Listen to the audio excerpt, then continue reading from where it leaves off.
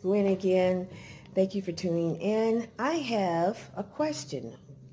The question is, do you want your skin to look better? Well, if you do, black seed oil can help do that for you. I have NiaMya. She's 10 years old, and she had a little problem a few months ago, and I'm going to ask some questions and to find out how she dealt with it with the black seed oil and I'll see you next. Okay, this is NiaMya. NiaMya, I want you, hey, I want you to tell your story on how your skin was before your mom and your, your grandmother put the black seed oil on it.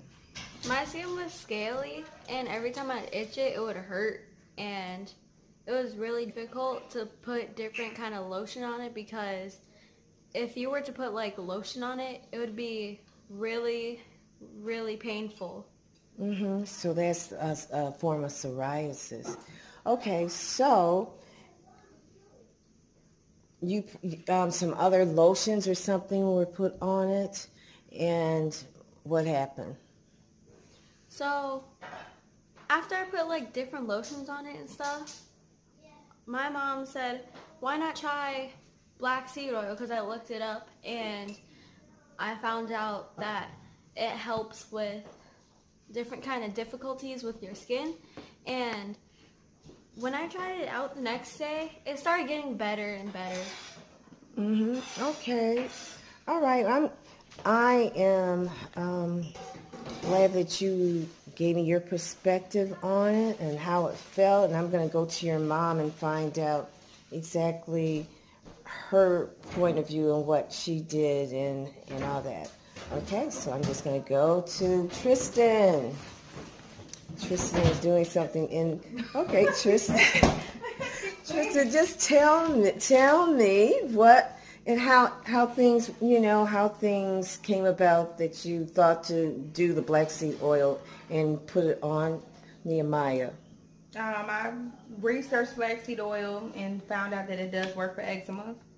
So I ordered some black seed oil and had her applied on her face for up to two weeks and it cleared the eczema off her face. Okay, so did you try other products? I tried um, Eucerin, which was a thick lotion that's used for eczema, but did not work. And when I used the black seed oil, it took two weeks and it was gone completely off her face. Okay, so two weeks it basically did work its way. Yes. Out.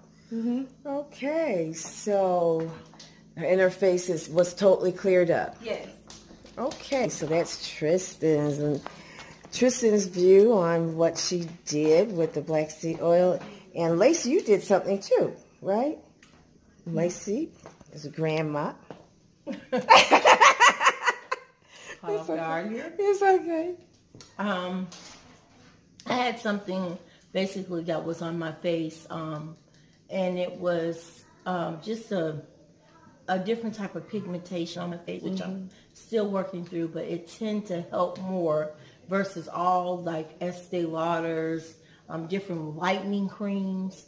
It tend to do more and, work faster than all those other creams. Okay, you know, you you you never mentioned that to me. So yeah. you did have some kind of slight. It was a different pigmentation. It was a light. It was a darker. Oh. And um, because of and it was around my mouth. It almost looked like what would, would be known as a mustache, but it was no hair or nothing. It was just that different pigmentation. And they said that sometimes um, because of the disorder of sarcoidosis that I, I have will cause that.